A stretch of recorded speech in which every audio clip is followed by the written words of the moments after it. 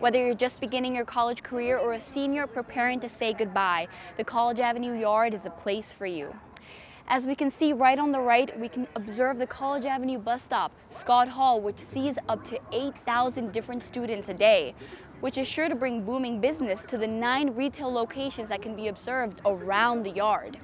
Over in the corner, we have the Starbucks, which has plenty of the drinks and opportunities for students to lounge outside where you see the different chairs and different umbrellas, especially on a hot and sunny day.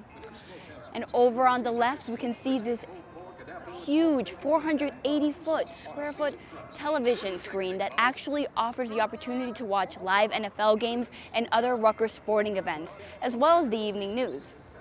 And as we observe over here on the left, we see the 14-story building, which is actually in U-shaped and is the College Avenue Apartments.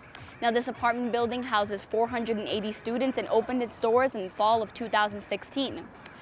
Over on the top left-hand side, we can see the Sky Lounge, which is actually where students can go and sit down and observe views of the New York City skyline. And right here underneath me, you can see a beautiful yard in which actually students can come and sit down and enjoy yoga this coming summer.